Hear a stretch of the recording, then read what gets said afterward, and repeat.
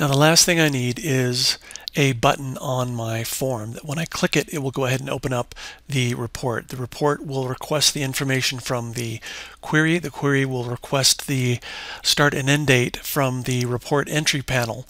And once the query has that, it'll go ahead and generate the report. Uh, it'll generate the data set, which will feed the report, and the report will open up and display. The report will also request the start and end date um, as information at the top of the report header. So to start this, I'm going to come back out here, click on Design View, and I'm going to come up to Design tab and make sure see my command button here. I'm going to click once and then click down here underneath, and I'm going to go ahead and do uh, some report operations. I'm going to go ahead and open a report. I'll click on Next. The employer, employee freight by date is the one I want. I'm going to choose text, and up here I'm going to give this a name. And I'll just say View Freight by Date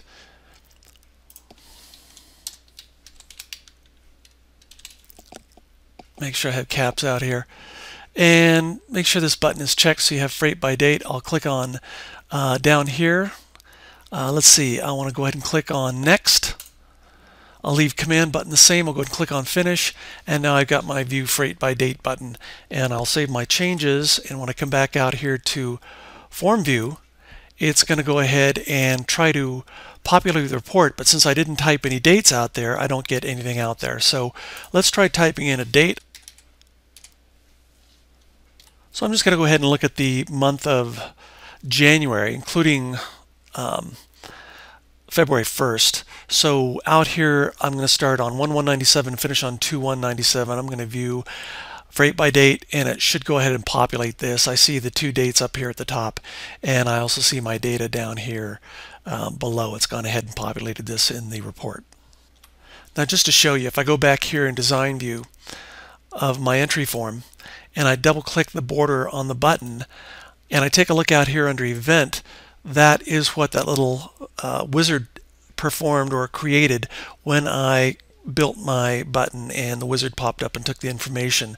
If I come out here into event and then look at the embedded macro and click the three dotted button, I can preview what took place. And all that's happening out here is just saying open report and I'm giving it the report name and then it's going ahead and just opening the report. You could have built this macro yourself by coming out here and including um, database objects. You could have gone out here and opened up a report right here using this guy. This is all it used was just this big action um, segment here. You could just pulled this in yourself um, and built this macro. So that's all that took place there. And um, that's it. The only thing left to do is put a little polish on this, but my project is done.